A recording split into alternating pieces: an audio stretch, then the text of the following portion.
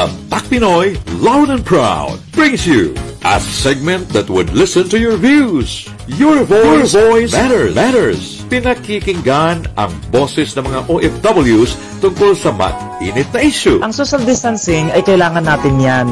Kaya sumunod na tayo sa batas. Okay, huwag na matigas ang ulo. Mahalaga sa atin ang ating buhay.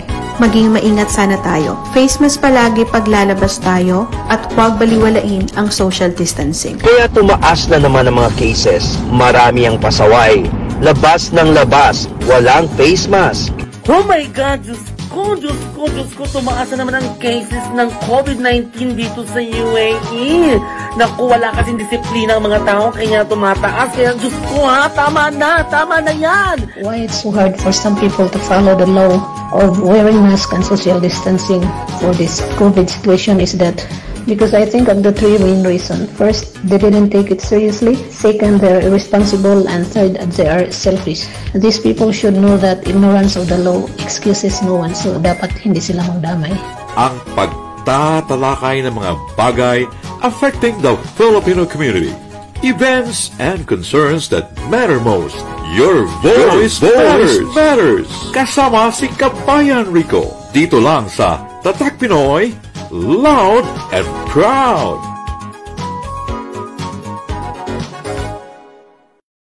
It's once again time to listen to your voice. Welcome back to Your Voice Matters. Uh, for the past months, we discuss things that would actually affect the Filipino community. And tonight, pag-usapan naman natin ang isang magandang topic na alam ko, um, karamihan sa mga OFWs, we tend to overlook this because of our love for our family. Pero kailangan talaga natin na gisingin ang ating sarili para naman na pag makapag-decide tayo na panahon na para mag-retire ay hindi tayo mukhang kawawa. Kaya nga sabi nila mahirap pag uuwi ka na wala kang dala. Dahil uh, pag pagsalubong pa lang sa airport, mukhang uh, iilan lang ang sasalubong sa atin. Kaya we need to take this into account and we need to think it seriously para habang may panahon pa, mapaghandaan natin ang uh, hindi magandang senaryo. Ang pag-usapan natin ngayon, no? Ang tanong, hanggang kailan ba ang isang OFW magsuporta sa pamilya sa Pilipinas. Magtiis para um, magsuporta kahit uh, matanda na yung mga anak, may pamilya na yung mga anak, uh, pag-usapan natin ngayong gabi. Ha? Unahin muna natin ang uh, we always believe, you know, you know the drill, right? Ladies first. Kaya ang unahin ko to introduce ay, nako, uh, 30 years in the United Arab Emirates. Pero ito, uh, pa-relax-relax na lang kasi napaghandaan na niya eh. Kaya pa-travel-travel. At dahil sa pandemic, ay imbis na uh, magpasikot-sikot, eh andito ngayon siya sa, sa, sa Dubai. And I'd like to introduce to you oh, si Tita Lord Igmedio. Ah, Tita Lord, magandang gabi dyan. Bumati ka sa mga friendship mo dito. Magandang gabi naman, Rick. Uh, am I audible? Oh, of course, of course. Loud and clear. Loud Ayan. and clear and highly visible. Ayos naman. Um, naabutan lang ako dito ng pandemya eh.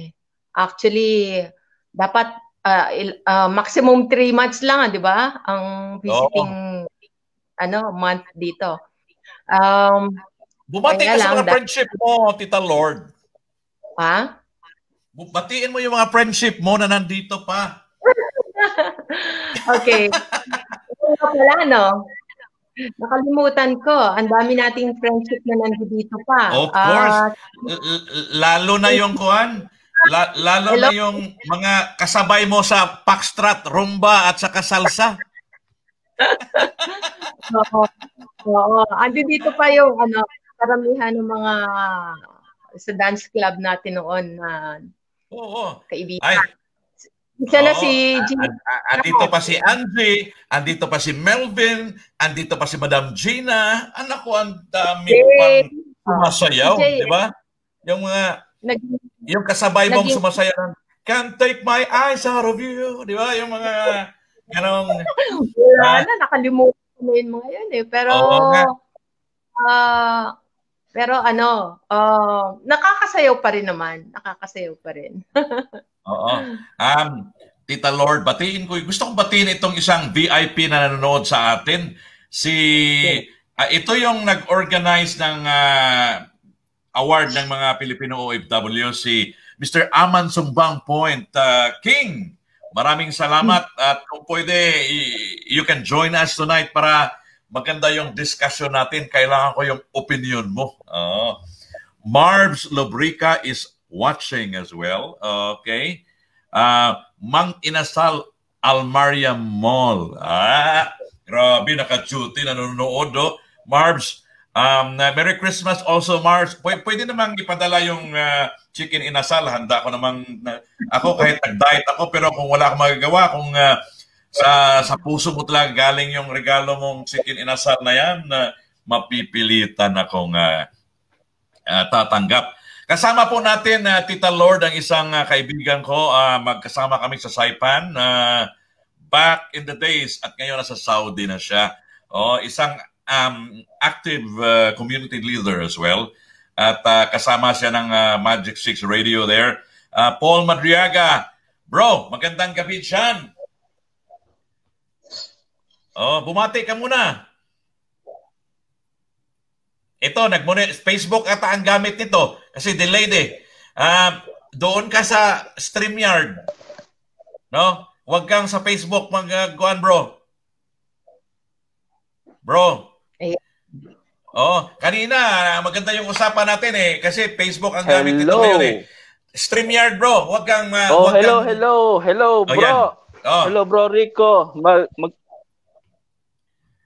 delete Oh. ka ata eh. Ah, huwag kang mag-monitor sa Facebook. Doon ka yes, sa sa, ah, sa StreamYard. YouTube. Na, nag-connect. Oh, nag-connect ako delete. sa YouTube. Sa YouTube no, ko na bro. Pag yan. YouTube, doon ka sa kuan, mismo sa StreamYard. Yung link ko kaninang binigay sa'yo, Oo doon nga. ka mismo kasi delayed pag Mm-mm. pag ah, Facebook at saka YouTube ka ma, na manonood. So, ang ang click mo Yan, nasa StreamYard ako. Nasa StreamYard ako, bro. So, magandang magandang gabi sa ating lahat. Ah, bro Oh. Okay. Delayed. No. Oh, yes, hello. nasa StreamYard ako. Wala ako sa Facebook. Oh. Um, kasi parang may delayed yung arrival tonight. Oh. Um, bro, ngayon, uh, Yes, pag-usapan andito ako na- natin kasi ito yung ah, karamihan na nakikita Mm. ko na ang daming umuwing luhaan, no? Um, 25 Okay, years. out muna ako, then ah, babalik ako. Okay. Ah, sige, bu- bu- bumalik ka. Facebook ka, Facebook, ah, StreamYard, Facebook. Ayan.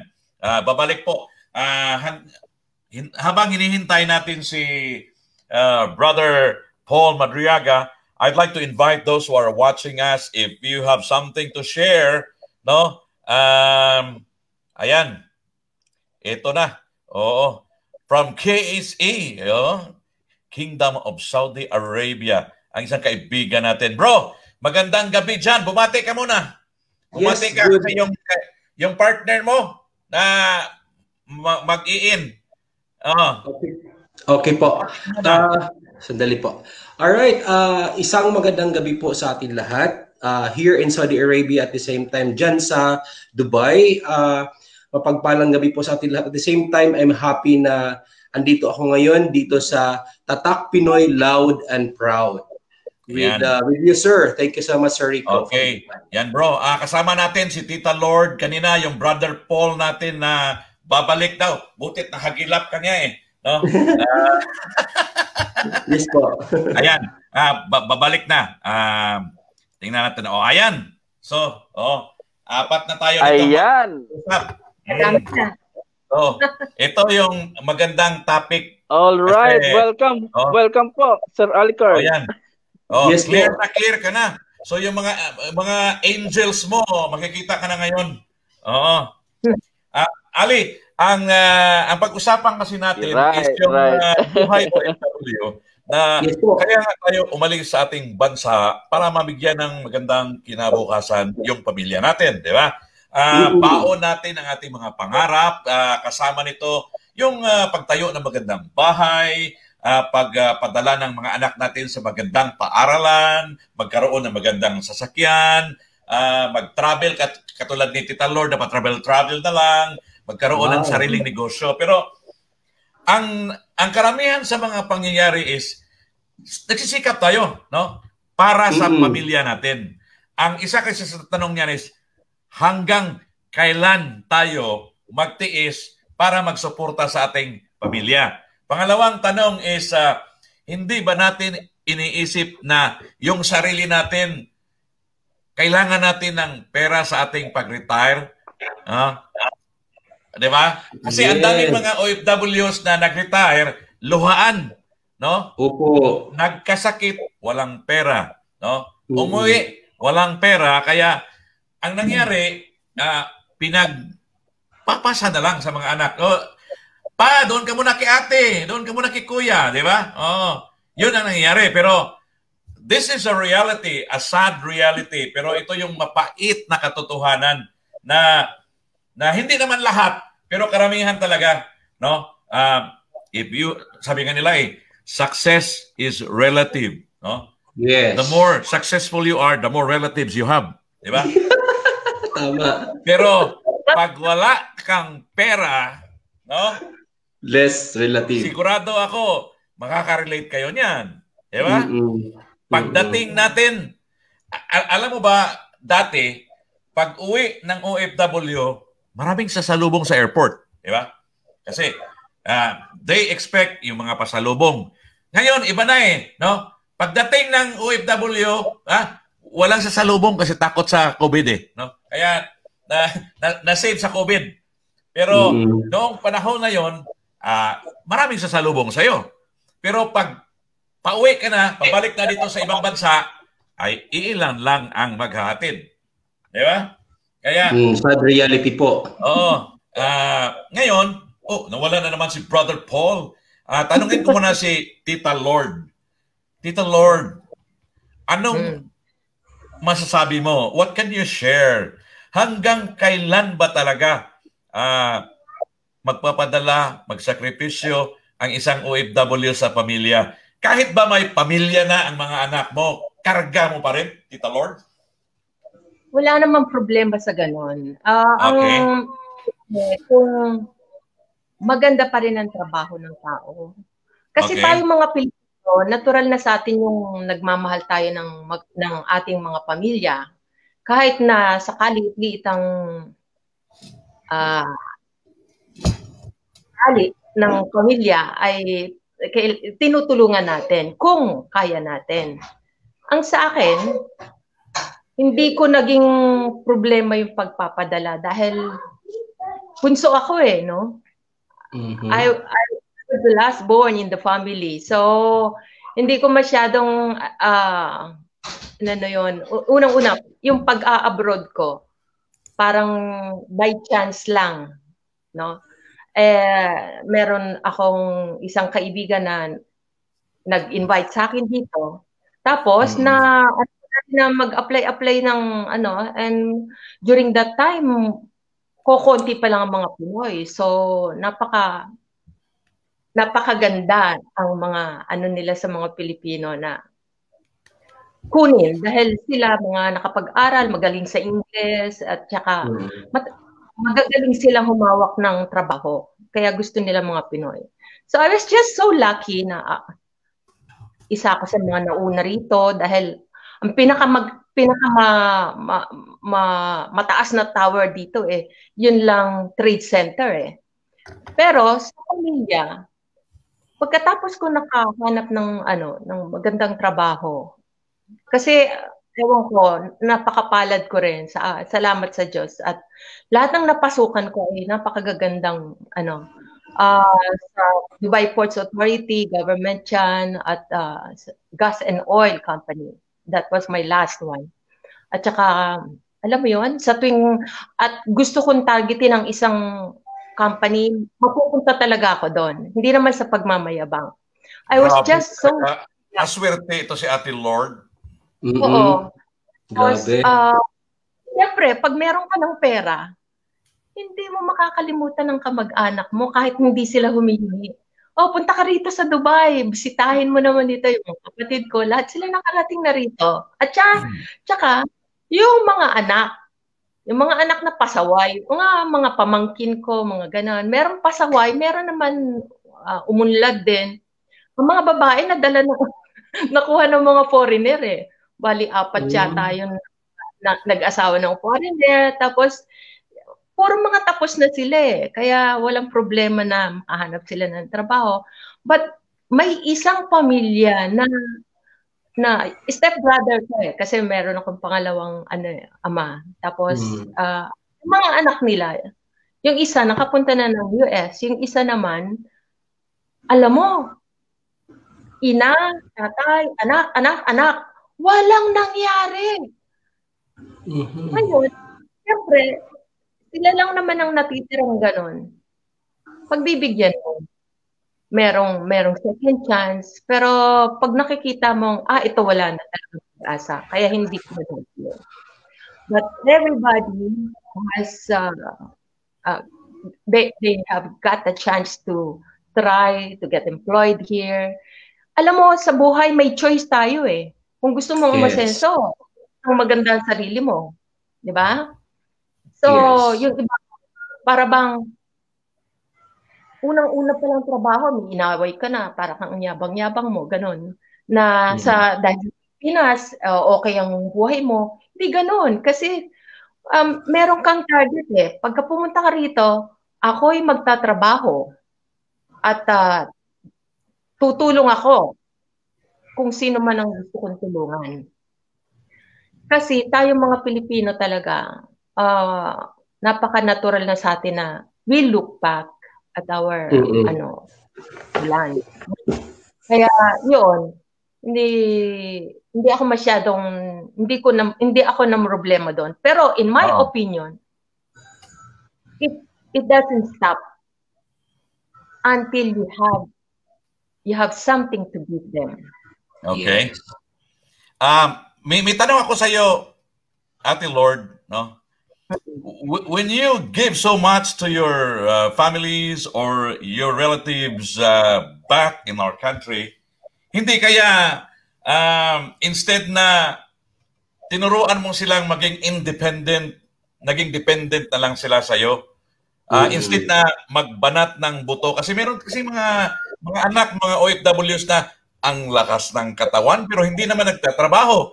Ang hinihintay end of the month, no? Support. So, ano mo sasabi mo niyan, Ate Lord? Um, walang sumandat sa akin ng ganyan. Pero Okay. Mm. yung mga pamangkin, kasi ang ano natin, um, kumbaga third generation na yung mga natulungan ko eh. Pero mga kapatid ko, wala naman. Uh, wala namang umano. Kaya lang, sa mga pamangkin ako nagkaroon ng mga problema. Dahil parang, ah, dyan naman si tita eh. Kaya isi-isi lang tayo. Pero may bilang ako eh. Isa, dalawa, hanggang tatlo ka lang. Tama na. At Mm. ngayon, yung pamilyang yun, talagang hanggang ngayon nagigikaos pa rin. Pero I am hopeful, magbago naman sana ang kanilang ano dahil puro may mga asawa na sila eh. At saka marami silang ah, resources eh. Buti sila. Ako, pumunta rito, wala pa akong bahay. Walang wala. No? Ang, ang hawak ko lang, edukasyon. At ah, yung yung nasa utak ko na hindi mananakaw, yon. Binigyan ko sila ng isa, dalawa, kagaya nun, ina, ama, anak, anak, anak. Hindi eh, walang, walang umasenso. Para bang, ang gusto nila, nasa Pilipinas lang sila mag-aabang. Eh, kung sige, kung gusto nyong umuwi, dyan lang kayo at ah, bahala kayo sa sarili nyo. Ganun na lang. Ate Lord, babalikan Hmm. kita ha. Ah, diyan ka lang sa gilid at ah, may nakita akong magandang comment kay Ray Cruzat. Ah, ito, maganda. I'd like to show this to you, Ate Lorda. Ayan. Mm. Okay. Ang problema kasi pag nag-abroad ka, yung pamilya mong naiwan nag-upgrade kasi sila nang gastusin. Dumadagdag sa gastusin kahit hindi naman kailangan. Ang Exactly. ganda ng point mo, Ray. Oo. Mm-mm. Saludo ako sa iyo, Ray. Oo. Kung sa kuan pa yan, sa dart pa yan, bullseye, no? Tama.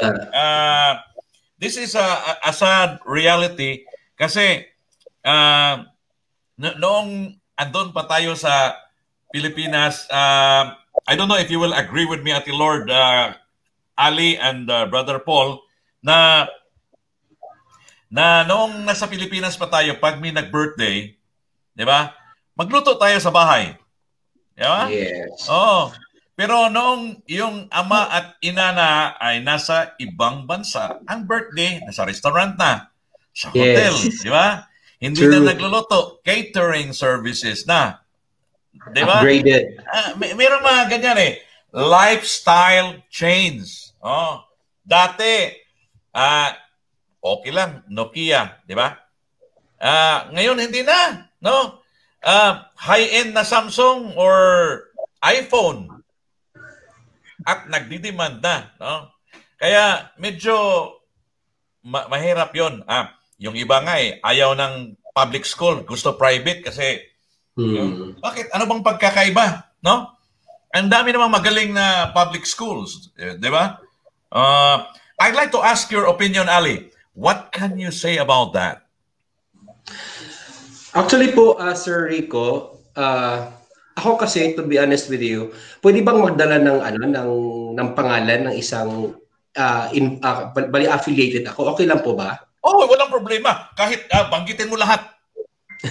Sige po, kasi actually I'm proud with my wife because my wife is a graduate of uh, uh, accountancy at the same time. Uh, she's working in International Philippine School in Alcobar as, as, as a finance. So in regards to finances, in regards to accounting, I learned a lot from her.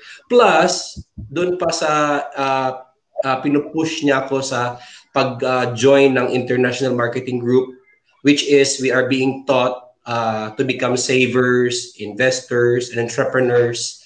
Uh, from there, I was able to learn that I need to become a money manager. At the same time, I need to build a solid financial foundation for me to be able to prepare my family in the future. Kasi hindi ko kasi alam kung ano mangyayari sa buhay ko. So maybe one day God will get me or maybe one day magkasakit ako. Uh, uh, meron akong isang uh, isa sa mga friend dito sa Saudi Arabia. I don't want to mention his name. Uh, uh, kasi kilala din siya dito sa Saudi Arabia eh. Uh, isa, isa din siyang community leader. Parang dumating siya sa point na nagkasakit siya. Tapos, of course, any company will not hold you long uh, more months kung magkakasikit ka in, in uh, one to three months, pwede ka pang uh, salbahin ng company mo. After that, kung you go beyond three months or six months, they will decide not uh, to send you home. So unfortunately, this community leader before uh, talagang na, na pawis Pilipinas, tapos pagdating Pilipinas, ang nangyayari doon, uh, dahil uh, ang sakit niya is grabe talaga, so uh, he, he died na doon lang sa banig or sa sa ano yun, yung, yung bed lang na dito sa Saudi Arabia, nag, natutulog tayo sa bed na na kutsyon or sa bed na maganda or talagang luxurious life. Pagdating doon, nung nagkasakit tayo, uh, uh, hindi na matustusan yung pangailangan natin, we go back to our friends in Saudi Arabia asking for help. These are the things that uh, actually is happening in most of us. Kaya from there, sabi ko, uh, I have to prepare myself and with also with my wife, which is I'm proud to her kasi talagang andun yung support niya din sa bagay na yon. Kaya bilang isang OFW dapat prepared tayo come what may. Kaya nga we have to build investments, we have to prepare uh, uh, long-term insurances or we have to to have a business while still here in, uh, in as as a OFW so that when we get back home, ang mangyayari is ready tayo kung ano mangyayari. Y- yun po yung pananaw ko, Sir Rico. Uh, Ma- ma- maganda yan, maganda. Um, I- I'd like to share the reaction of Janice. Uh, ito si Janice, bilib ako palagi itong nanonood sa akin eh. No? May iba kasi porky abroad sabihin sa'yo, pag uh, hindi pinautang, eh, sasama ang loob, di ba? At hindi nila na-realize na, you know, ang daming misconception na, na nangyayari. Uh, I'd like to share this to you, Ate Lord. No? Uh, kasi matagal ka na rin eh. No? Uh, ito yung mga misconception eh. Akala kasi ng mga pamilya natin, even our friends and neighbors and uh, yung uh, extended relatives natin, na masarap ang buhay ng isang OFW. Kasi naman, mm. ang nakikita nila sa posting natin, yung puro mga posting sa restaurant, kainin, sa park, hindi nila alam na hindi naman araw-araw tayong kumakain sa labas. No? Kung nasa park naman tayo, is that is our own little way of uh, getting rid of the pressure at work, yes. yung stress natin. Stress. No? At saka, hindi po na mumulot ng pera ang isang OFW. Kaya nga, alam mo nung uh, nung isang beses, ano, I, I actually created a video na pinaghirapan ko. May nag-comment eh. Sabi pa, sirang ulo yung nag-voicing na yan. No? Paano daw makasave kung ang sahod maliit? O, ngayon, tanungin kita. Pag ang sahod maliit ba, Ali, hindi makasave? No, uh, sir. Tanungin din kita, Ate Lord, ha? Oh, yan. Ako, ako ba, sir? Oh, si ikaw muna, ikaw muna, Ali. Uh, ganito kasi sir, ito ang paniniwala ng ano ng isang uh, financial coach or financial advisor. It doesn't matter whether whatever is your salary. What matters is how you save. Okay. Kasi uh, kahit na example dito sa Saudi Arabia, most of the OFWs are earning 1.5 or uh, regular employees 1.5 or or 3,000. Yung yung yung tingin sa iba sa 1.5 maliit yan na sahod. Pero ang konsepto na natutunan ko sa bilang isang uh, bilang isang uh, kasapingan ng International Marketing Group is ano siya uh, dapat sa sahod pala natin is kailangan siyang uh, salary minus savings equals expenses. Kasi karamihan kasi sa atin, salary, expenses, expenses equals di na din alam kung ano mangyayari kung may savings pa ba siya. Kaya ang pananaw ko dyan is napakasimple lang. Uh, kailangan talagang uh, matuto tayong uh, yung hindi yung yung tipong ah hindi yan hindi ko kaya mag-save kasi maliit lang sahod ko. Kundi what matters most is whatever is your salary allocate 20% or even 10% and match pa kung 30% into savings. Kasi ang uh, there are many ways to save. Like for example, build an investment. Pwede rin siyang mag-create ka ng uh, insurances mo. Pwede rin siyang magbabayad ka ng medical insurance mo for the future or you can put in mutual fund. These are the things na you can put savings na hindi man siya liquid na savings doon sa paglagay ng mga pera mismo. But yet, these are the preparations when time comes when you need something in times of need.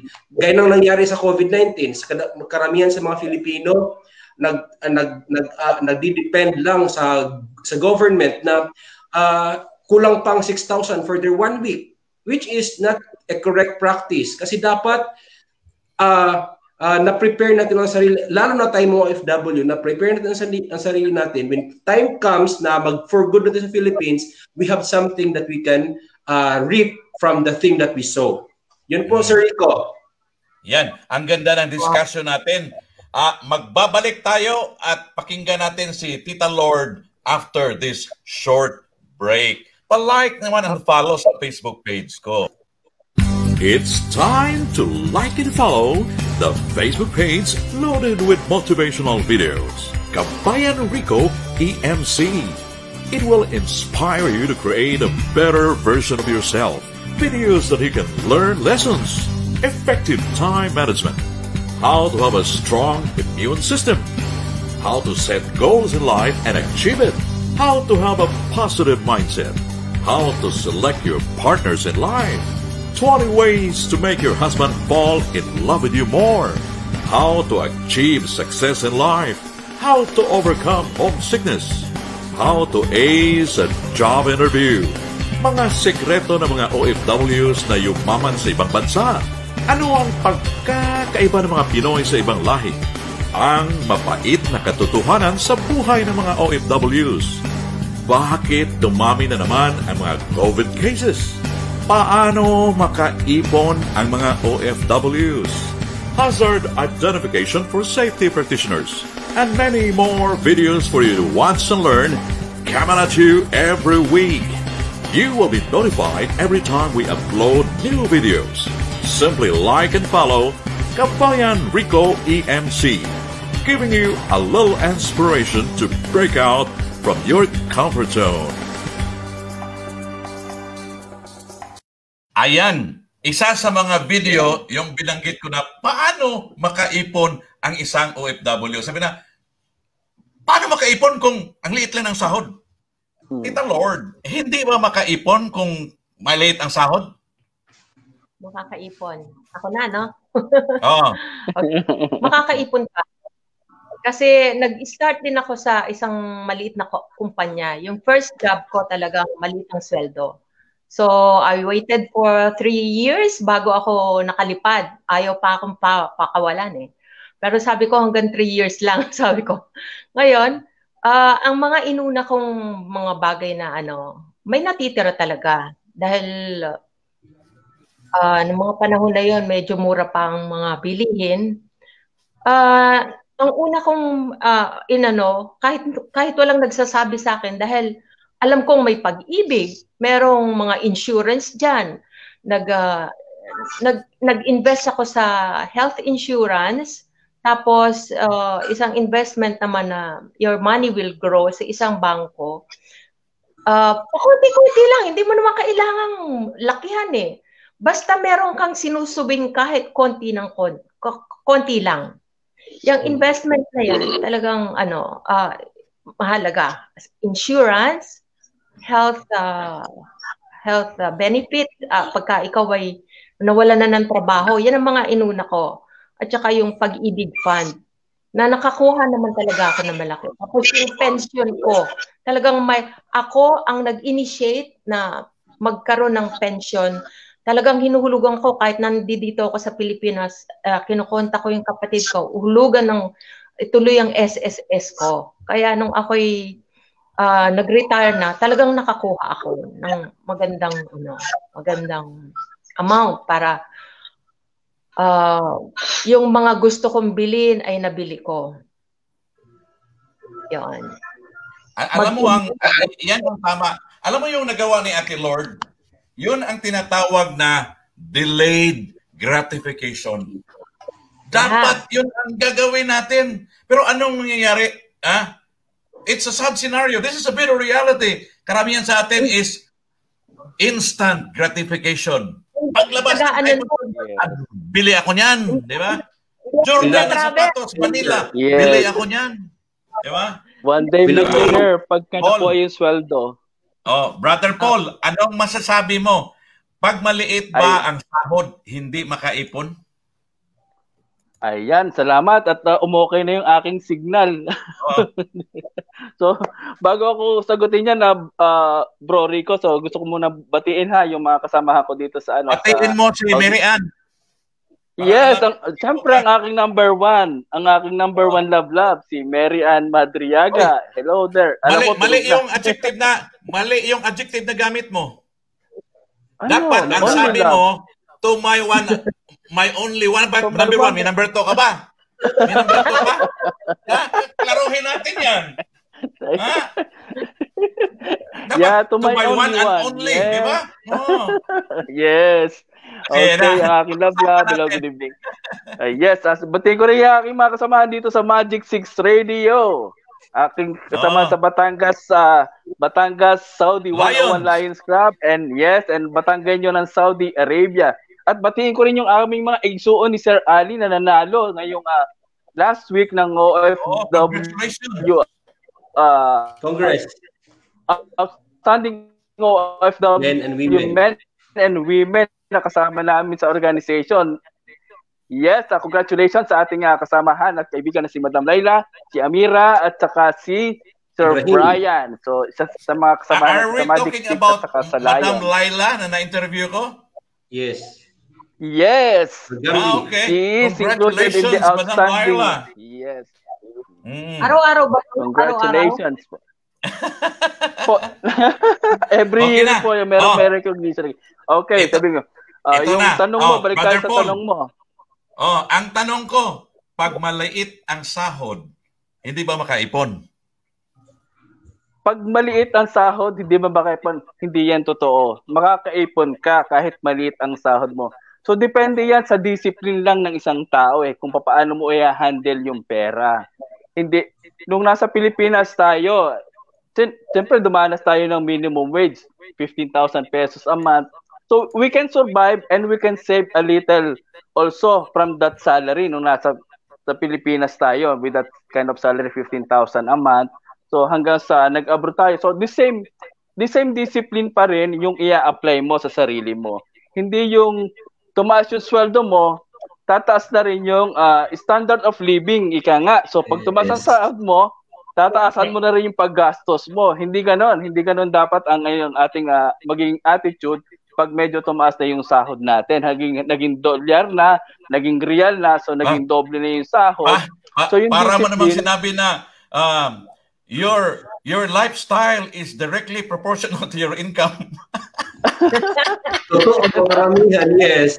Yes, yes. yun, yun ang nangyayari. Totoo yan. Totoo yan, brother. Totoo yan. No? Reality bites. Pag tumaas ang sahod, tumaas din ang lifestyle, di ba? Yes. Mm-hmm.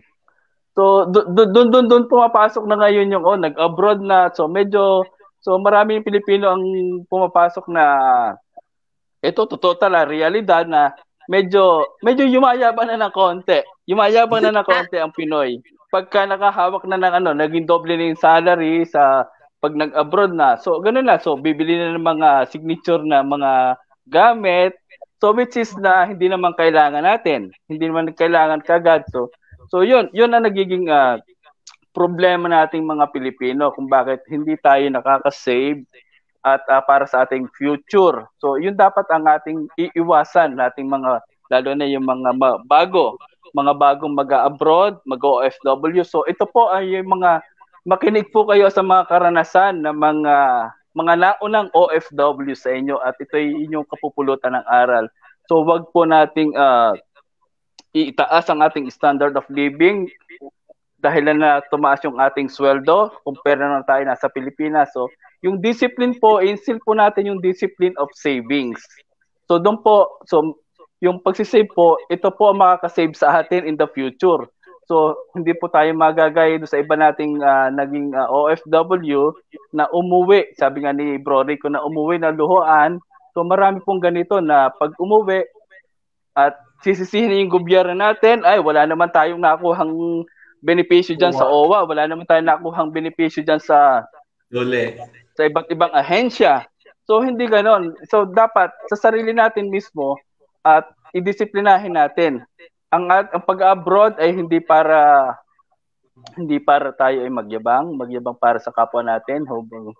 So ito ay para sa ating future, para sa mga anak natin at kung mayroong konting na kung kwanto ding pang pantulong o pang uh, charity, so yun, saka natin na uh, tayo magbibigay sa ating mga uh, mga charity works tulad ng uh, Magandang bagay yan.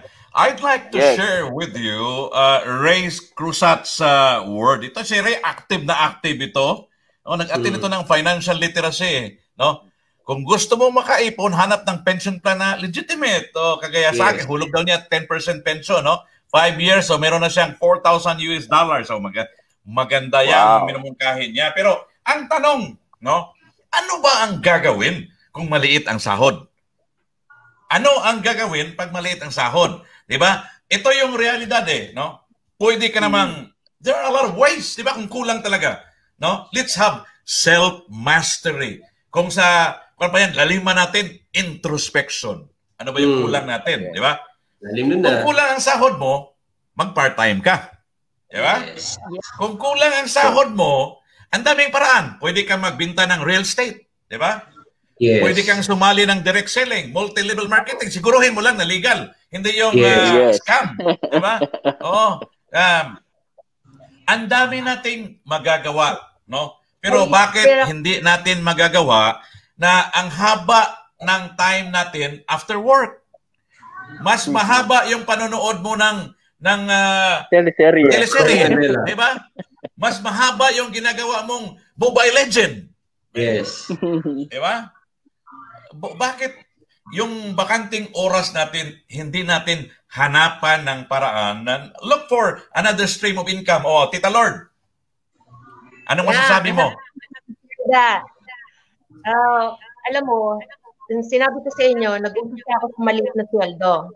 Alam mo bang ako'y pumasok sa tagalinis ng bahay? tagalinis ako ng bahay. Uh, apat. Ha? Apat ang aking Ha? Sorry? Anong, anong year yan? Uh, 1980 something, 89, ganyan. Kasi 84 ako pumunta. 80, no, hindi, hindi pala. Uh, plus, ako nakalimutan ko na basta. It's okay po, it's okay po. It's okay po. Siguro, no?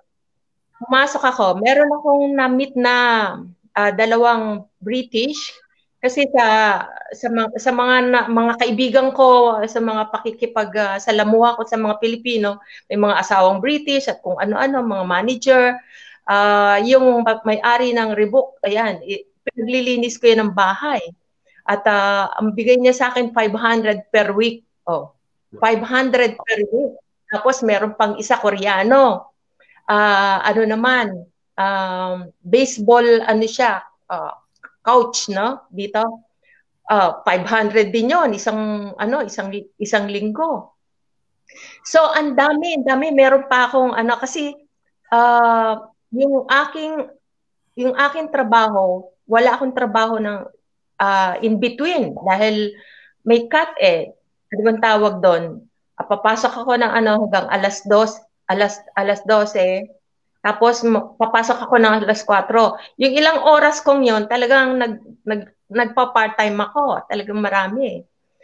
Uh, kaya sa sa mga ginagawa kong yon hindi natitigil yon lalo akong ano may mga nagre-rekomenda oh si mga ano yun mga mga single pip ano single batch parang hindi naman bachelor no mga single sila na ano mga manager, mga ano na walang maglilinis ng bahay nila. Kaya ako naglilinis. Pinaka pinaka ano nga na, na napasukan ko Koreano, napakadumi ng bahay tsaka yung yung kanyang kusina lagi napakadumi dahil doon nag-iihaw. Pero alam mo, nakaraos, alam mo yon At saka nag-e-enjoy ako. I-enjoy niyo lang ang buhay niyo talagang maraming part-time jobs. Ewan ko lang sa ngayon ha, siguro marami pa rin dahil maraming nag, nagsosulong manager dito eh. Siyempre, nagpapalit ang mga tao dito. I-mingle niyo yung sarili niyo sa mga community natin. Doon kayo makakakuha ng source. At mula ron, magkakaroon kayo ng mga part-time. Pumasok ako sa British Business uh, Group, ha? Nasa, ano yan, nasa may World Trade Center noon. Ang amo ko, Amerikano. O, ako ang uh, administrator. Pero in a few hours lang, nung ako'y nasa Dubai Ports na dahil ang ang ang trabaho ko sa Dubai Port is up to 2 o'clock only. So wala na akong gagawin from 2 o'clock. Kaya pumasok ako sa business tapos nag nag ano pa ako sa mga opisina rin dahil kumukuha sila ng mga taga-file lang. Biro magkano sweldo? 2,000 per month. Di ba? Ang laking bagay eh. Napakalaking bagay. Marami talaga kayong maano, part-time, part-time lang sa mga opisina. Marami nagsasabi dyan. Ayan oh, ang ganda ng uh, ihimplong pinakita ni ni Tita Lord, di ba? Ang problema oh. kasi karamihan nasa comfort zone. At uh, yes. meron pang pride, no? Pride. Yung pride eh. Uh, Ali, uh, pakinggan ko muna si Ali. In a short while, uh, King Bilimak will be joining us ng OFW Helpline. Okay, Ali. Uh, ganito po siya, uh, Sir Rico. Uh, we are in a new normal nowadays. So, kaya ko natanong ni uh, Tita Lord kanina kung anong year yun. Kasi uh, bilang ako, bilang uh, nasa new normal na ngayon, especially we are in a situation where pandemic is still rampant. Uh, not so rampant, but still we are facing this kind of situation. So, um, madami tayong mga other means na pwede mag-part-time. There are online part-time na pwede natin gawin na for example, if your friends offer you for something na pwedeng mag uh, mga lifetime na mga businesses, grab it kasi um, ang friend mo na andyan sa isang uh, legit na mga mga multi-level businesses, mga any kind of online businesses na we have to double check if they are SEC registered or DTI registered or BIR registered or, or even registered kung saan nagbe-base yung yung company na yon. Kasi nowadays, medyo uh, nasa, nasa social distancing tayo, nasa situation tayo na parang we have to make sure na we are safe. We can do part-time businesses online. That's why wag kayong mahiyang mag magnegosyo ng online kasi at the end of the day when you go back home in the Philippines you can continue that business even nasa Pilipinas na tayo. And that could help our family na mag-earn pa rin kahit na nasa Pilipinas na tayo. Yun pong pananaw ko, Sir Rico. Ah, alam mo, I, I'm just surprised. No? Uh, at, at Tita Lord, oh yan. Meron pa si Tita Lord sasabihin. Alam mo bang pumasok din ako ng tutorial? Kasi ang daming mga bata na kailangan matuto ng Ingles. At nagtitinda ako ng turon kasi wow. marunong ako magluto may pansit, may turon, at kung ano-ano pang tinitinda ko. Ang bili-bili. Pero mo, ang laki ng tubo sa turon. Ipagbibili mo lang ng sampu. Eh. Kung ilan lang yun, di ba? Ganon. Yun lang. Talagang kailangan take time na yung mga uh, mga extra hours nyo na hindi kayo ano. Dahil pag uwi mo ng bahay, ano, hihiga ka lang sa kama, yung ganon. Dahil, mm-hmm. eh, oh, Nakahilo, nakahilo, nakahalubilo ako sa dance club pero nagtitinda ako ng turon. Wow. So, di ba? yung mga yung mga project ng mga Pilipino ano diyan, community. Yan, mga Pilipino, pinagtitindahan ko yan. At saka hindi mahiya tita, di ba? Hindi nakakahiya yan. Malinis na trabaho. Marangal na trabaho yan. Marangal. Mm. Clean money, ika nga. You, you yes. are earning on a clean way yung money yes. mo, di ba? More than, uh, I'd like to welcome dapat... tonight. Oh, uh, uh, joining us is ito yung uh, nag-umpisa sa OFW Helpline. King Bilima. King, magandang gabi dyan. Hi, Sir King. Uh, Buma- bumati ka muna. Bumati ka. Yes, uh, good evening, uh, Kuya Rico. And uh, of course, uh, magandang uh, araw, umaga, tanghali sa ating mga kababayan, mga OFW around the globe. And uh, ito po inyong abang na lingkod, si King Billy Mac, ang chairman ng OFW Helpline na talagang lumalaban uh, itong tinatawag nating uh, Department OFW, uh, of OFW, itong tinatawag na Department of Filipino Overseas House Bill number 1949 uh, uh, Senator uh, Bongo. So isa po tayo na na, na, imbita, uh, na imbitahan diyan na mag uh, mag-add ng maraming uh, mga uh, provision kung ano talaga ang nararapat para sa isang OFW lalo na uh, for example tayo mga OFW, OFW na nahihirapan at uh, mahirap kasi kung ang isang mamuno diyan hindi naman OFW ano ang nalalaman niya sa buhay natin sa Dubai sa Satwa na kung meron tayong uh, double deck lang na alam ng buong uh, mundo, meron tayong triple deck, may purple deck pa tayo. So yan yung gusto nating mapaalam sa lahat na in connection with the topic na kailan tayo magtitiis. Dapat hindi na tayo magtiis pa. This is the right time after this uh, creation of the Department of OFW, uh, naka, naka-certified as urgent na yan siya. So expected by uh, January to February or the first uh, quarter of the year, approved na yan siya and we have to focus and we have to to unite uh, together tayong mga OFW para magkaroon tayo ng sariling bahay. Uh, Kuya Rico. Yes. Oh, of course. Oh. Ngayon, King, uh, yung usapan kasi natin, no, uh, I'm sure na narinig mo kanina na karamihan sa mga tumanda ng OFW umuwing luhaan. 25 years 30 years sa ibang bansa, pero kumakanta pa rin ang kanta ni Tom Jones na My Elusive Dreams. Di ba? Um, paano natin mapaghandaan? Anong advice ang maibigay mo, uh, King? Ah. That's that's a good that's a good question na uh, Kuya Rico. By the way, isa sa pinalukala ko na na provision doon sa sa House Bill uh, Senate uh, Bill uh, 1949 is that kahit ikaw ay uh, former OFW, ay hahanapin natin yung record mo para makasama ka pa rin, magkaroon ka pa rin ng ID na ikaw ay uh, OFW. Okay? Wow. Dahil ang pera kasi natin na na- na-contribute billions of billions mula noon na nag-start tayo since uh, would say 1980s eh kasama naman yung tao na sinasabi ni Kuya Rico eh. So ibig sabihin, part ka pa rin ng pera kung anong meron tayo doon sa sa sa OWA na yan, yung tinatawag nating OWA fund na umaabot tayo ng uh, 8 uh, billion. So hahanapin hmm. natin 'yon uh, ilagay natin sa isang data at kung matanda ka na, bibigyan ka natin ng ng ng uh, ah, ID at uh, magagamit mo naman 'yun siya para sa yung mga hospital na ginagawa ni Senator Bongo, yung Malasakit Center, nakakonect yun doon, ang uh, OFW uh, department at saka yung tinatawag nating Universal uh, Health, Healthcare Law.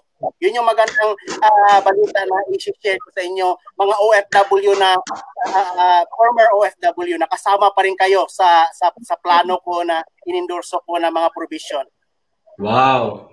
Yan. Iba talaga pag si Juana, si King um, King um uh, gusto kitang tanungin no. Um hanggang kailan ba para sa iyo hanggang kailan ba magtiis ang isang OFW na magsuporta sa pamilya sa Pilipinas? Kahit ba uh, may asawa na yung mga anak, karga mo pa rin? Ha? Para sa akin, ganito. Normal na ang isang tao uh, natapos ang pag-aaral or, or high school uh, graduate ka, gusto mo oh. mag-abroad, mag-abroad para gaganda ang buhay mo. So ganito ang mangyayari kung meron tayong Department of OFW.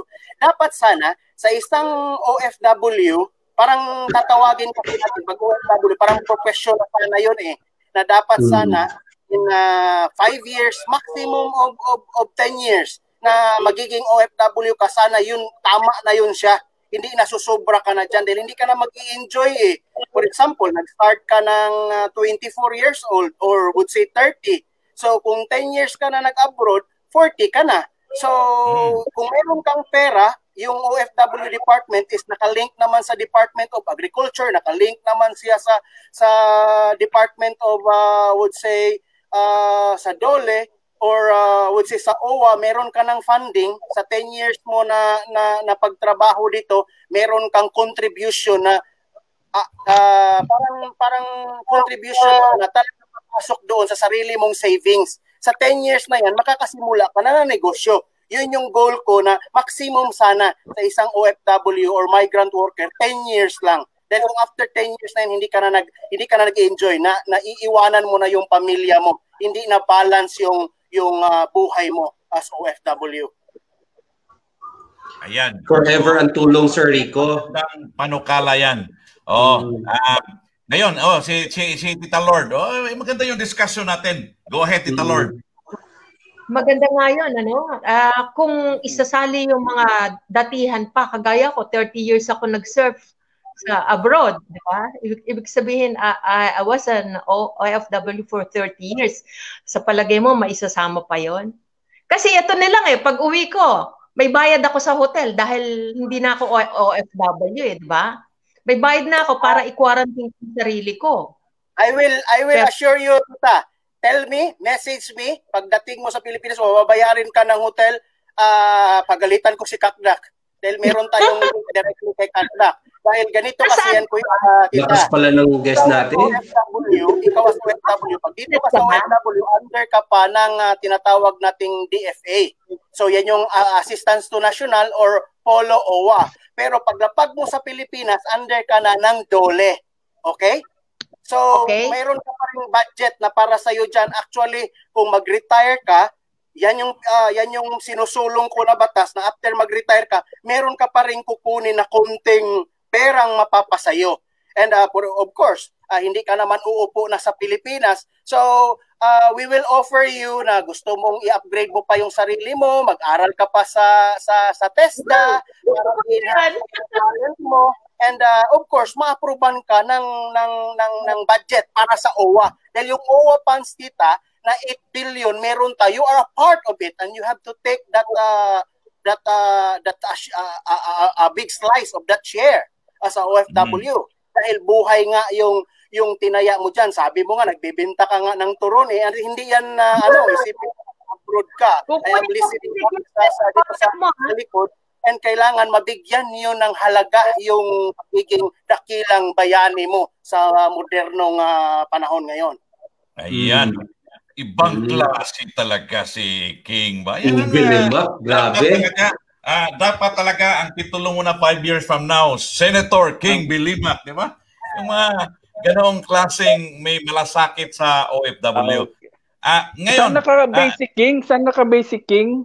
Dito sa Dito Dubai. dito sa, sa Sarga, United Arab hmm. Emirates at uh, itong hmm. OFW, uh, OFW helpline is naka-base dito. Ang birth ang birthplace niya is United Arab Emirates pero nasa 30 countries na tayo all over the world. Wow. So, yeah. yeah. Nice, nice. May, may, meron akong uh, tanong sa sa ap, sa inyong apat, no? Ano bang gagawin natin para yung family natin ay hindi maging dependent sa atin? Unahin ko muna si Tita Lord. Uh, para hindi maging dependent, uh, oh. kailangan talaga may yun eh, no? I-pursige ng magulang na ang mga anak ay pag-aralin para sila ay magkaroon ng sarili nilang pagsisikap at uh, makakuha ng magandang trabaho pag sila ay natapos na. Ngayon, dun sa mga bata pa, um, ari siguro, suportahan mo ng konti, pero pagdating ng araw, eh, kailangan matapos na sila ng pag-aaral. At talagang puspusin ang kanilang pag-iigting na makatapos na pag-aaral. Yan ang pinakamagandang, ano eh, uh, weapon eh para hindi ka basta-basta lang sasalyahin ng kahit sino eh. You can choose the life you want if you have that uh, standard for yourself na ito ang kailangan ko, ito ang mangyayari sa iyo. Just yan, have no? it in Kaya, oh, maganda yan at Lord, Tita Lord. Yan tinatawag na living a life by design. O, oh, di ba? Uh, speaking mm-hmm. of life by design, Oh, I'd like to share with you this slide kasi ito yung pinakita ko talaga, no? Sabi nga ni Stephen Covey, know, begin with the end in mind. Habit to ng libro na The Seven Habits, no? How how do you see yourself? Ano ba yung end ng buhay na gusto mo? Oh, ito, dalawa lang yan eh. We will arrive at one destination, pero mamili ka mm. alin dito. Oh. Alin sa kabaong na yan ang gusto mong final hantungan? yeah? Galing. Life is a choice. Diba? Exactly. hanggat gusto ng, ng, ng ano mo, ng tiyan mo, kang kumain ng kumain. Ano mo? oh, Ali, anong masasabi mo? Anong advice para matigil na yung uh, dependency mania na yan? Ali. Actually, Sir Rico, ganito lang, uh, kabayan Rico. Uh, naniniwala talaga ako na lahat is in the mind. Once our mind dictates us, yun ang lalabas at gagawin natin. Kaya naniniwala ako na dapat magsimula siya sa educating the minds of our loved ones in the Philippines na maging ano sila, uh, magiging uh, money manager sila kasi naniniwala din ako na kahit gaano kaliit ang, ang pera nila, kung tama ang pagmamanage ng pera nila, uh, magiging maganda pa rin ang buhay nila. In other words, uh, ayaw ko nung dole out system na bigyan kita nito, manghihiram sa akin, instead na papahiramin ko siya, uh, I will not give that uh, big, uh, amount na hinihiram niya, but I will give something na hindi siya masana yung manghiram.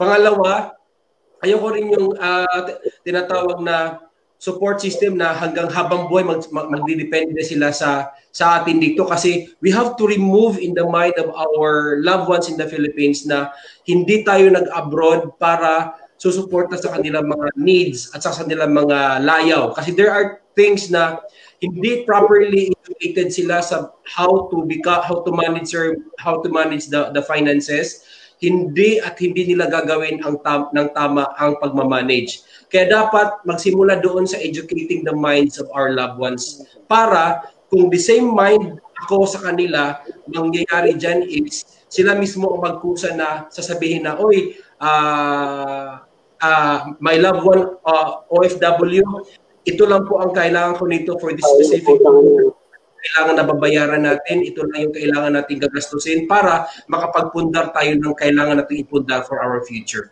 Yan po ang pananaw ko na dapat educate first the minds kasi kung the moment na lagi ting dole-out system, ang mangyayari, masanay sila hanggat tatanda sila na ganun po rin may impart sa kanilang mga anak anak at saka mga anak. So yun po ang pananaw ko po, kabayan Rico. Yeah, oh, di ba? Sabi nga, it's all in the mind. Whatever the mind can conceive, and believe that I can achieve, di ba? Uh, right, right. Isip lang yan. O, oh, ito. Brother Paul, anong masasabi mo? Paano matigil yan? Yes, uh, sigundaan ko na lang yung sa sinasabi ni, ano, ni Sir Ali. So we need a proper education sa ating mga kamag-anak, hindi na sa mga, yung mga kamag-anak ng OFWs back home. So sa ngayon, uh, very open na, very open na ang pagtuturo ng financial literacy kung paano yung i-handle yung money at paano magiging produktibo ang ibang tao. And through this, uh, marami ng mga available resources.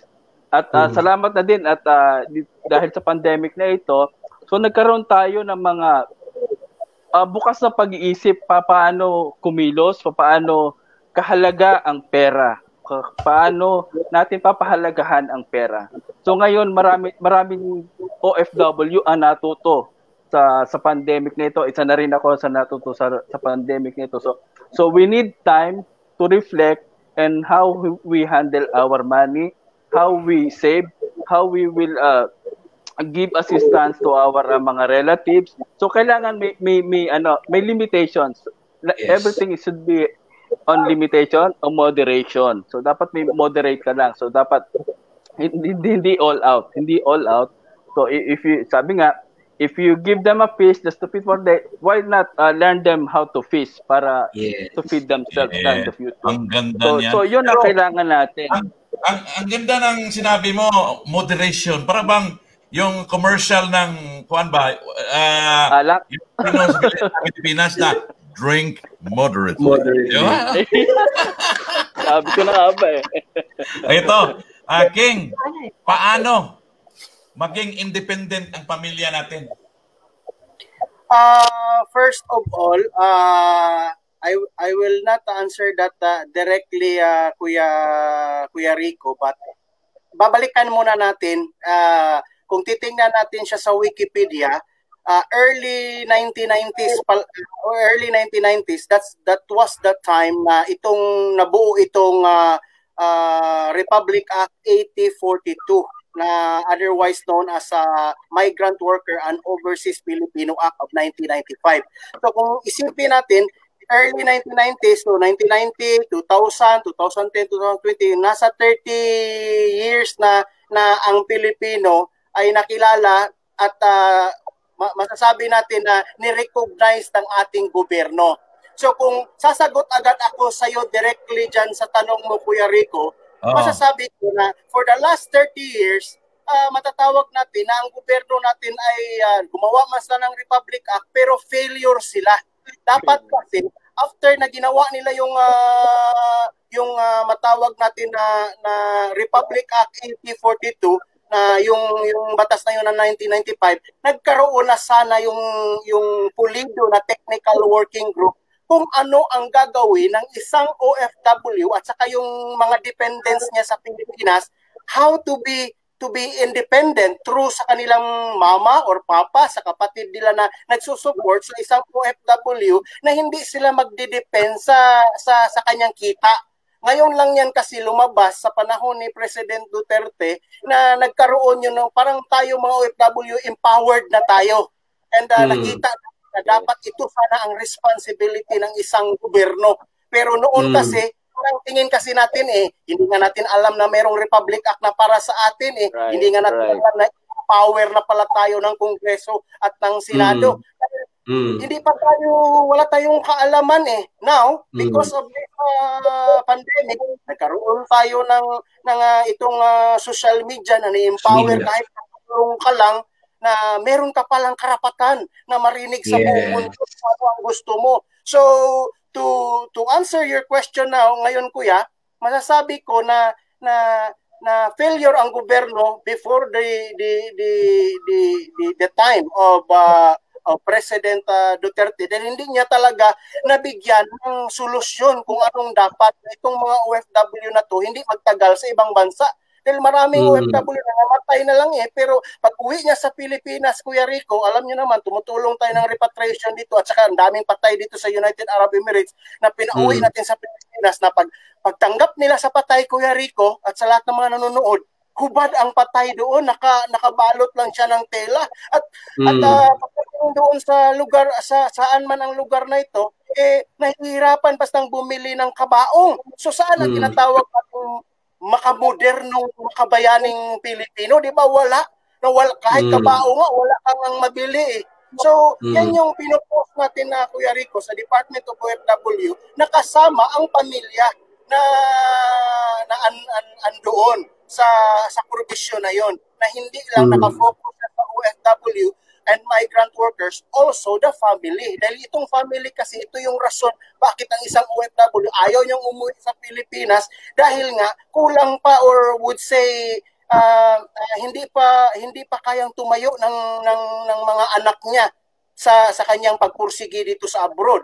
So, iba kasi yung mentality, tama yung sinabi ng mga kasama natin dito, na mali yung mentality uh, for the few decades, na para kasi ang tingin nila, namumulot tayo ng pera dito, na habang mm. andito tayo abroad, okay, anong gusto niyang kainin, lahat-lahat kaya mm. nilang makuha.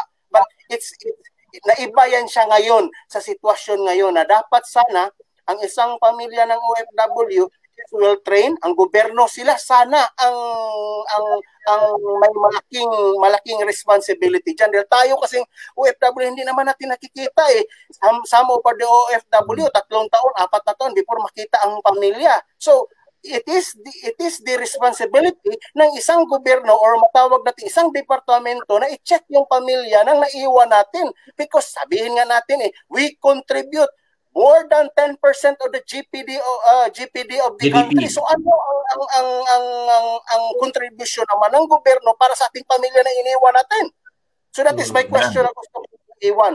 So at this time, if this uh, this uh, law na papasa ngayon sa sa Senado na tinawag na natin na, na ano ni, ni President Duterte as urgent bill, eh talagang mabigyan ng pagkakataon tulad ni Tita na medyo matanda na siya na hindi siya ma, ma, maiwan sa sa sa mga benefits na makuha niya na until lifetime siyang mabubuhay she is a member of the OFW department. Kabayan Rico? Yes. Kabayan Rico? Yes. isa lang. Okay. Uh, may tanong may tanong lang sana ako kay kay Sir King.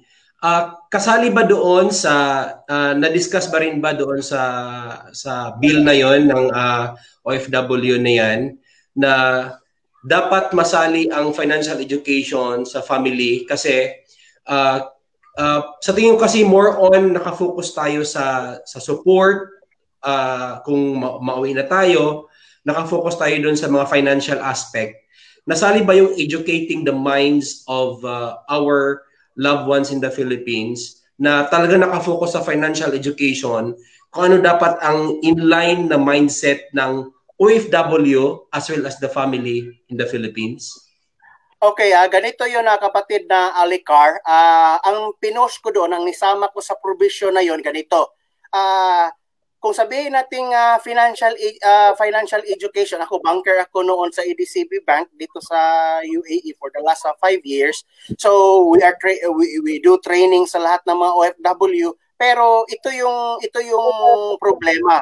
uh, hi, wala kasing wala kasing system or data ang government natin kung ang isang OFW sino ang anak niya, sino ang pamilya niya, sino yung beneficiary niya. So it's very hard for the government to to pinpoint na itong itong itong anak or kapatid ni King Belimac, ito yung kailangan niya na bibigyan ng ng financial literacy. Dahil wala nga tayong system eh. And I'm pushing that one na ang Department of OFW may sarili tayong system.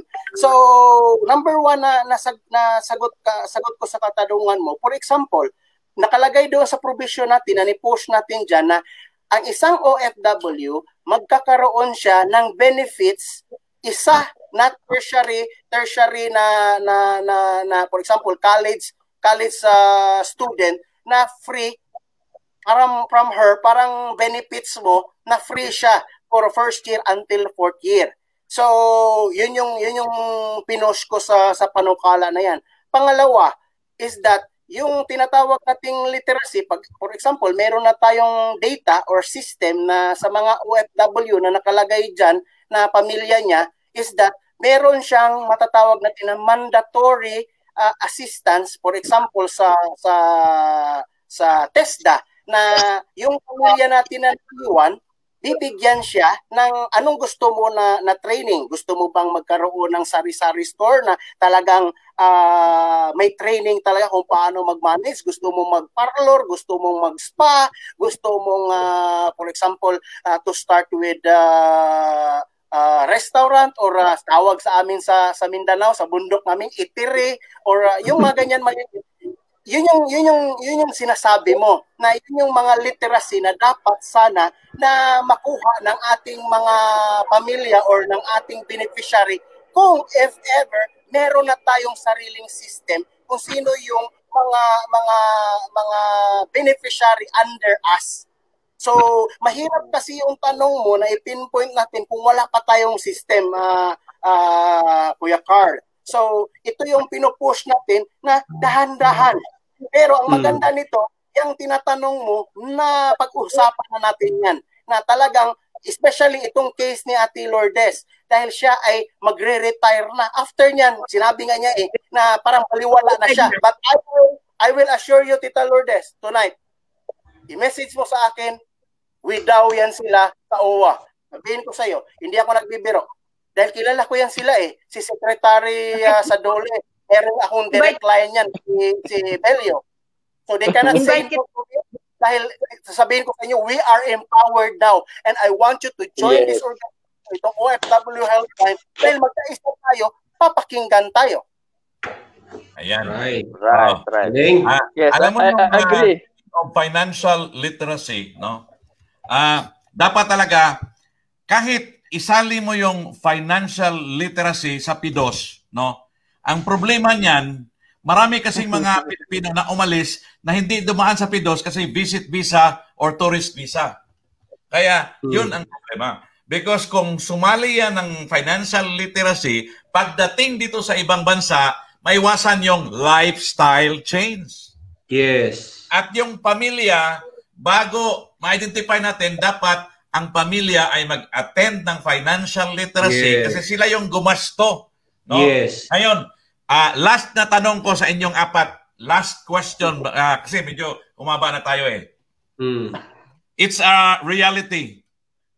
Marami pa ring living paycheck to paycheck. paycheck. Tita Lords, paano maiwasan yan?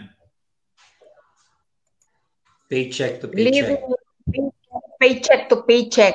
Uh, isang paano isang tuka. Okay. Mm. Uh, Ganyan ang ah, life. siya lang.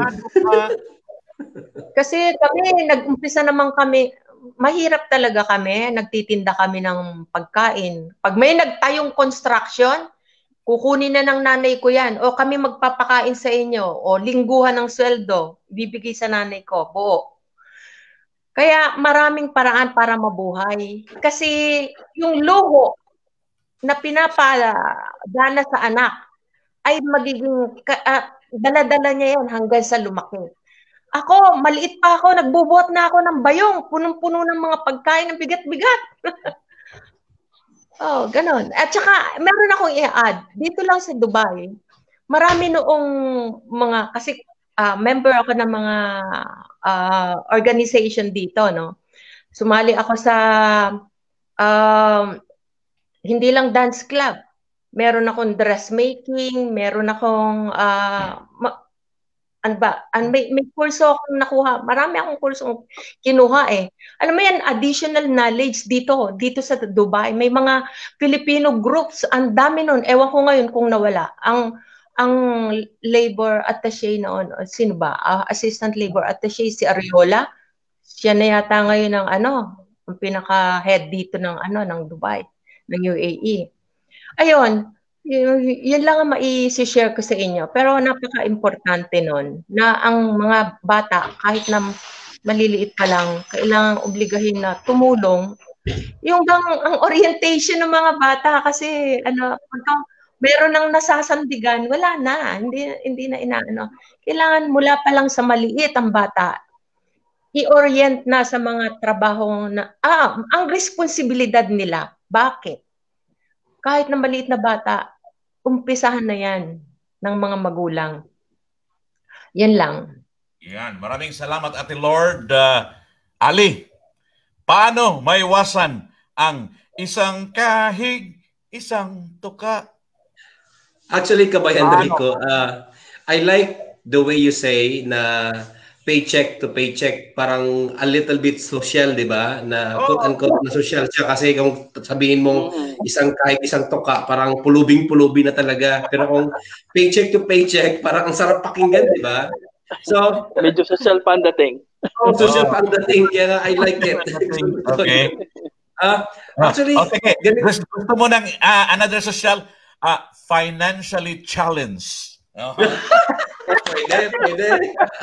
Paycheck or financially challenged. Actually, sa totoo lang, dito sa Saudi Arabia po, uh, I'm saddened because uh, every time nagbibigay tayo ng uh, uh, financial education, madami nagsisay no.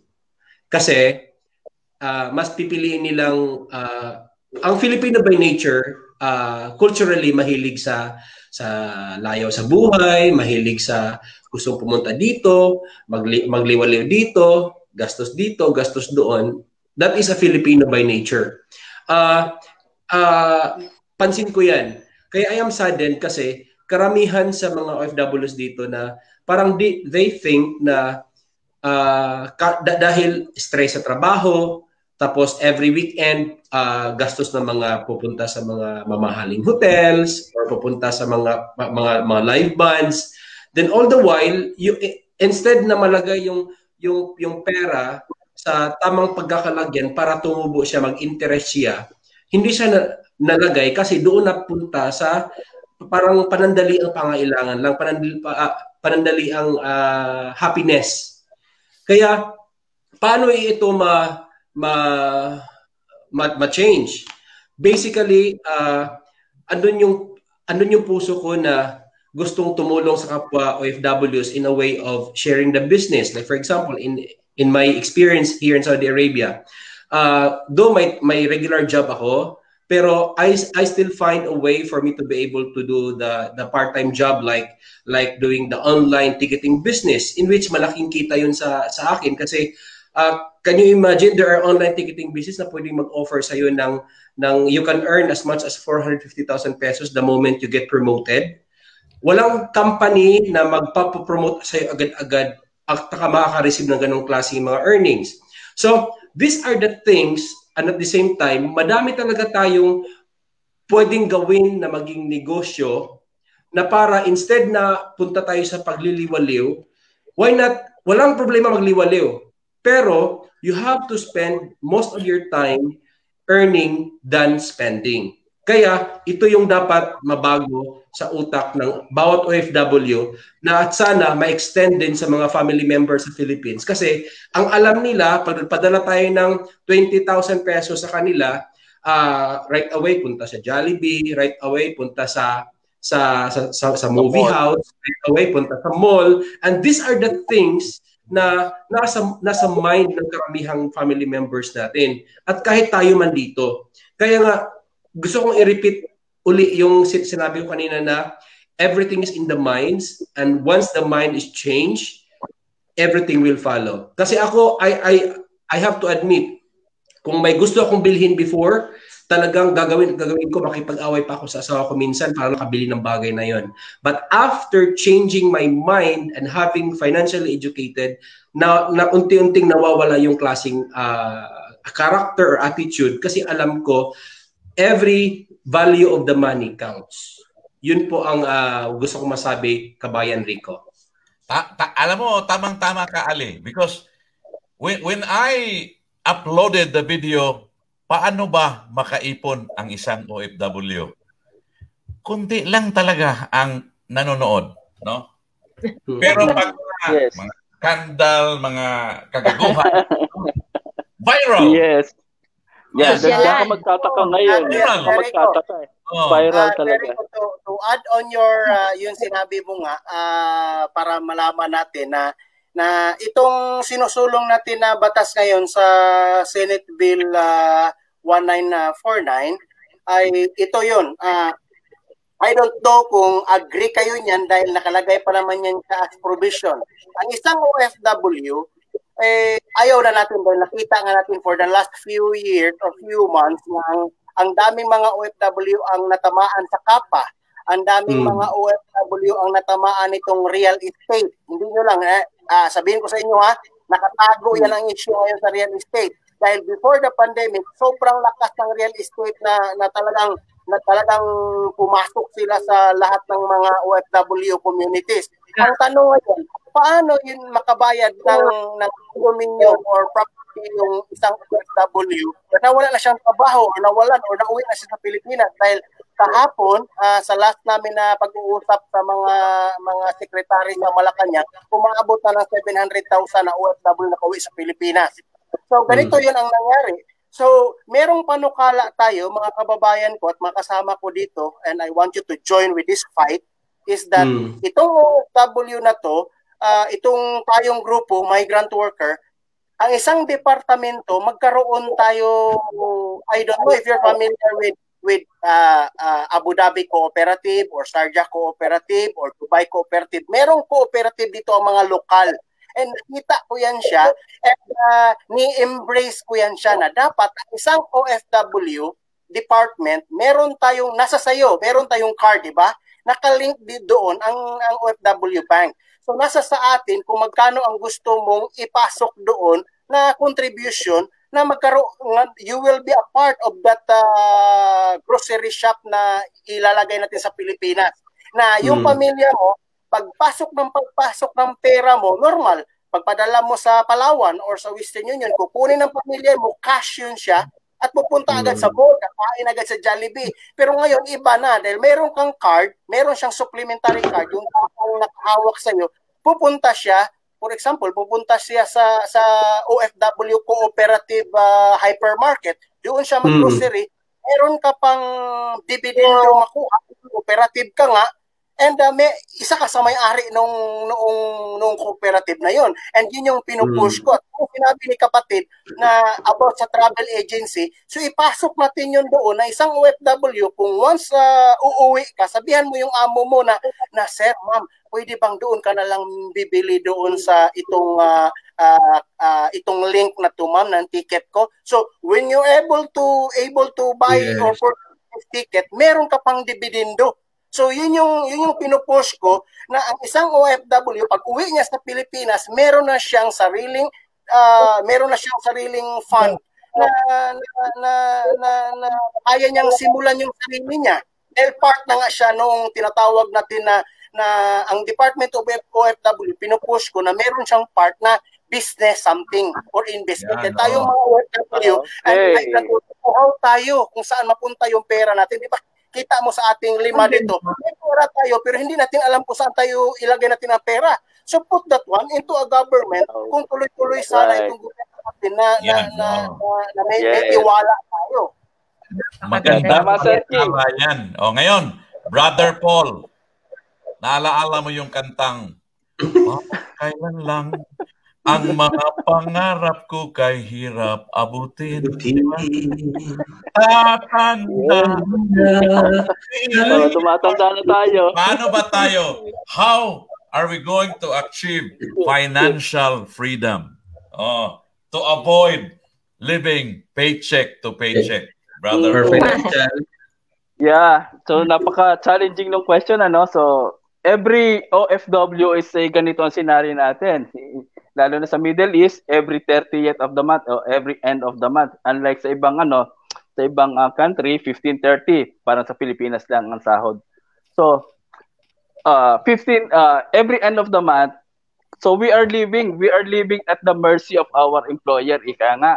So every mm. month. So hindi mo alam kung susweldo ka, uh, next uh, next month o oh, hindi madidelay na naman so dito na papasok habang habang sumusweldo tayo ng maayos dito tayo tatakbo na dapat mag-save na tayo so itong mm. pandemic ito marami talaga tayong natutunan so save a little save a little and then when the times comes na yung medyo na delay ang sweldo meron tayong bubunutin so meron tayong bubunutin na, na sa savings natin para makasurvive tayo at para makasurvive yung family natin. So sa ika nga sa isang sabi ng ating uh, uh, uh, isang uh, financial guru na uh, you have at least kung mag invest ka, you have at least a six months emergency fund sa'yo para at least kung makaranas ka man ng itong mga delay in, in delay in salary, meron ka man nakatabi, nakatabi na pera para mahugutan mo pagdating ng panahon. So yun. At uh, tapos uh, sinasabi nga ni ano ni, ni Brother King about cooperative. So isa tayo na advocacy yeah, Brother King sa ganito. So we are uh, into a financial literacy. I am an advocate of a financial literacy. We invited uh, uh, people, uh, speaker from the Philippines, especially from the cooperative, to to orient OFWs about cooperative investing in cooperative and forming a cooperative. So, although ito is isang maano, isa ika nga eh, madugo, madugo pa sa ngayon ang mm. pagbubuo ng cooperative panahon nito. So so there is, there are cooperatives, OFW cooperatives na ready na. And this is a multi-purpose cooperative and I at uh, napakinggan ko siya marami ng business inline and at uh, in time talaga sa napapanahon napapanahon yung mga products niya at saka yung businesses niya. So, i- very powerful tayo mga OFW kung magsasama-sama lang tayo. And this mm. cooperative, and I guarantee you, uh, uh, magsama-sama lang tayo, it will make it will make a a a good uh, impact on uh, OFW and uh, sa family back home. So mara magiging uh, sabi nga pag nagsama-samang OFW, we can be a kingmaker. And, yes. and and it has been proven, it has been proven from the last election we were the kingmaker. So naloklok natin si si Presidente Duterte right. through the OFW sa sa mga ano ng OFW sa So yun. So yun lang po. So kailangan natin is to continue financial literacy para sa ating mga OFWs and families at paano makakatulong family natin sa kanilang mga OFW hindi lang uh, naghihintay ng sahod like for my for instance on my part yung wife ko sa Pilipinas is a, a is in a real estate, on a part-time a real estate a salesperson. So uh, in that point, so at least meron siya nakukuha to help us out sa ating sa mga needs namin sa Philippines. So yun lang po, uh, Bro Rico. Um, King, paano matigil itong paycheck to paycheck? Uh, ma- ma-stop lang yung pay- paycheck to paycheck babalik na naman tayo na malaki ang parte ng gobyerno. Din, hindi matastap yung paycheck to paycheck eh kung makikita naman natin na naghihirap nga yung pamilya natin.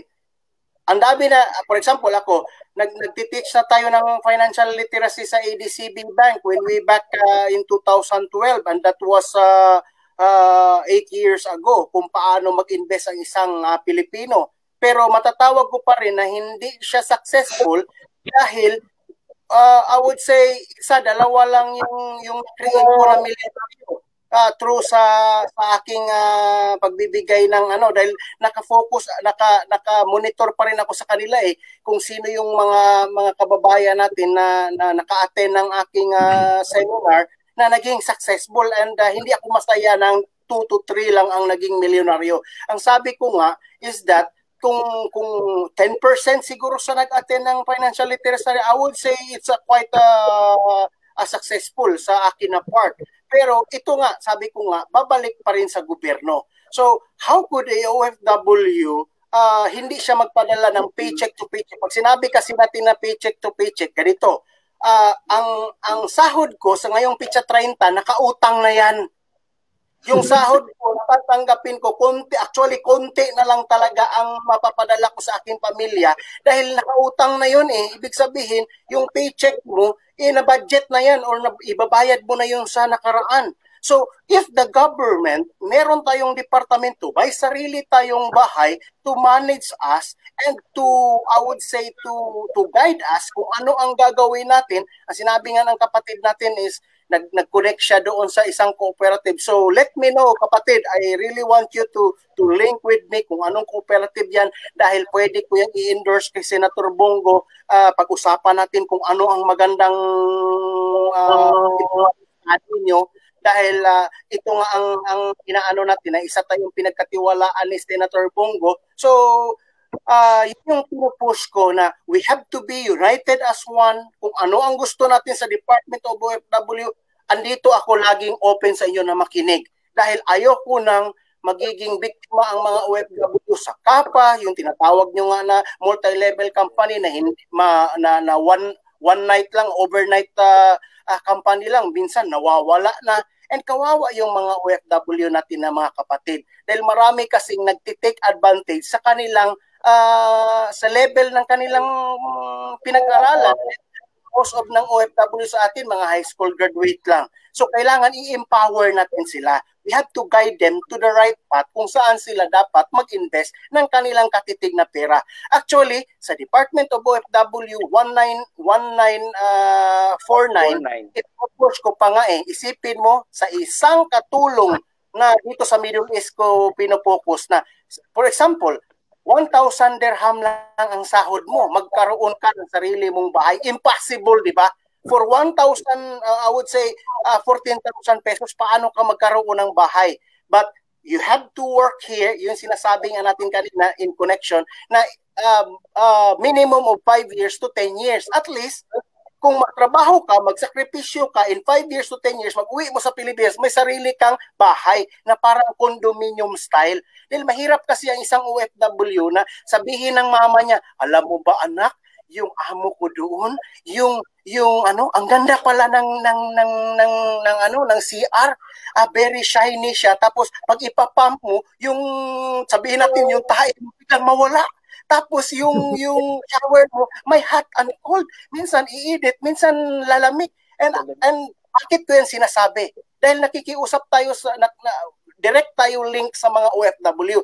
Gusto ko yung maramdaman yon at saka ma-experience yun na ma-ordinaryo ordinaryo natin na pamilya na iwan sa bahay, nakatulong lang tayo. And I want that facility, sinabi ko kay Senator Bongo, I want that facility to be available sa bahay ng isang normal na katulong na magkaroon sa, sa bahay niya ng, ng ganitong facility. May hot and cold shower naman. Yung CR naman niya, yung pump-pump naman. So, yun yung dream ko. Ito yung legacy na gusto kong mangyari. Na, yeah. na I don't know yes, if mamatay ako in the next month, but by legacy, it's already there. So, ayaw kong yeah. sayangin yes. yung buhay ko. Maganda, maganda, maganda. Oh, may nakita ako, Falcon 7. Oh, may, tingnan mo. Eh, Let's be real. SSS at pag-ibig nga lang po, di mahulugan. PhilHealth nga, ayaw pa natin. No? Uh, that is the problem kasi Ayan. Kaya nga, kapatid, bakit, bakit may problema tayo sa SSS at saka pag-ibig, kuya? Dahil wala huh? tayong tiwala eh, kung saan ang pera natin eh. Naintindihan nyo ako? Yan. Dahil kung pupunta tayo sa pag-ibig, Nagbayad tayo ng 1 month, 2 month, 3 months, 6 months. Tapos ang problema, nawalan tayo ng trabaho. Pag uwi natin sa Pilipinas, nawala na yung record natin dahil sinasabi nila na wala na daw tayo nagbayad. Ang tanong ko, saan na yung pera ko? Yun ang ah. mahirap doon. Yung pera natin, parang na-scam tayo or ninakawan tayo or tawag na, tinatawag na, na-hold up tayo ng tanghaling tapat. Mm. Tama. Yan, dapat ang wala sa atin yung security ng data ng ating government ano agencies. Yes. Totoo yan. Totoo yan. Um, yan. Even even just, even for our very fruitful discussion. Ako, I'd like to share my my my share of the the pie tonight, no? Isa lang naman eh. Um, for us to to get rid of this uh, paycheck to paycheck one for me. Never spend more than what you earn. Yes. yes. One. Second, we need to say no to a lot of things. Mm. Say no to your friends inviting you to join them in going to every sale in the department store.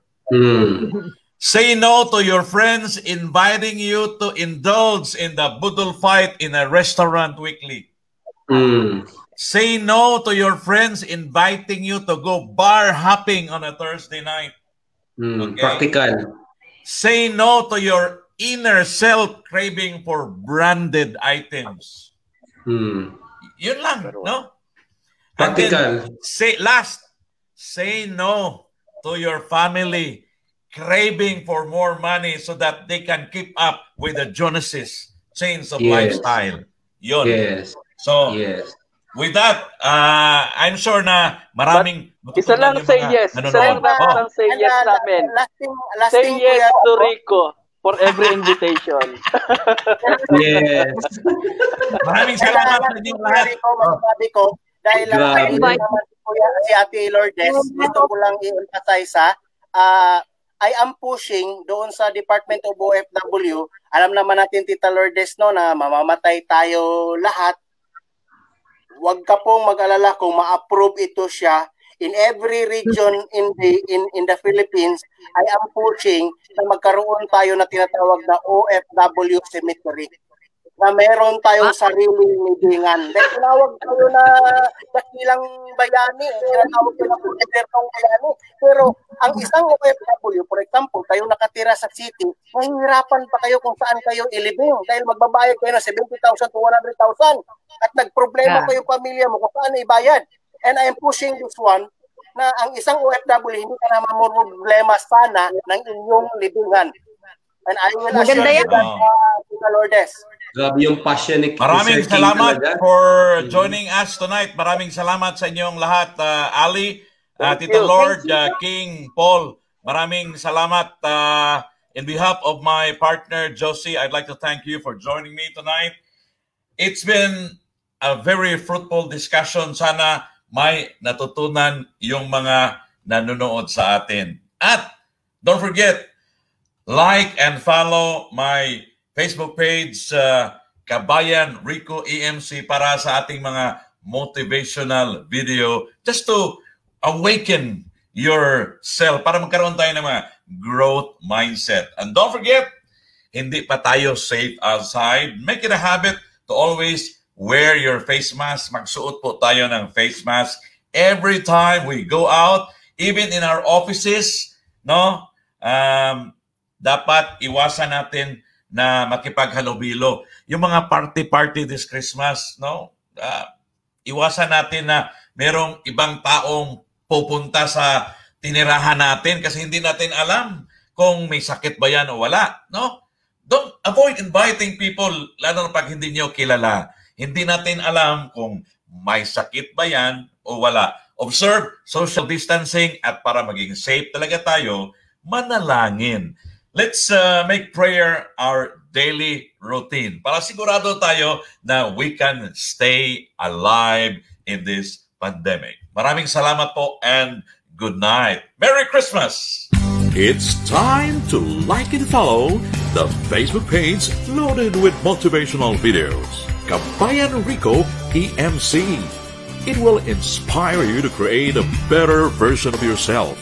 Videos that you can learn lessons effective time management, how to have a strong immune system, how to set goals in life and achieve it, how to have a positive mindset, how to select your partners in life, 20 ways to make your husband fall in love with you more, how to achieve success in life, how to overcome homesickness, how to ace a job interview, mga sekreto ng mga OFWs na yumaman sa ibang bansa, Ano ang pagkakaiba ng mga Pinoy sa ibang lahi?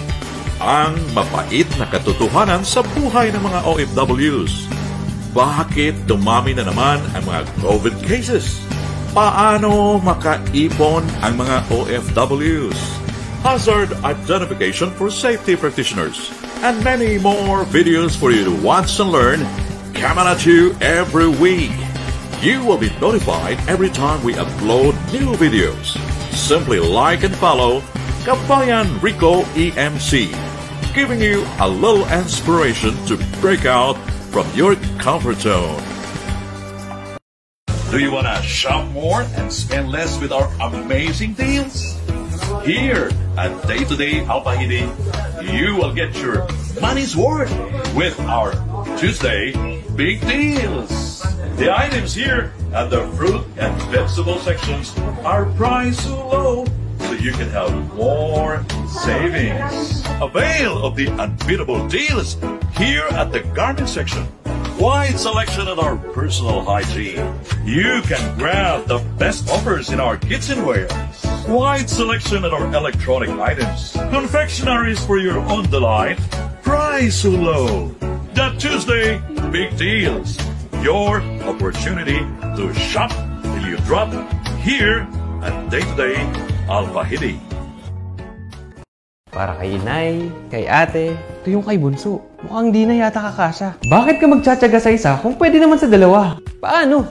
Doble ang pagmamahal ng LBC kaya hatid namin ang LBC Balikbayan Box Bundle. May dubling tipid at sulit na offer for any types of Balikbayan Box Bundles. Dahil mas masaya kapag Doble! Sa LBC Balikbayan Box Bundles, doble ang savings, doble pang saya sa pagpapadala.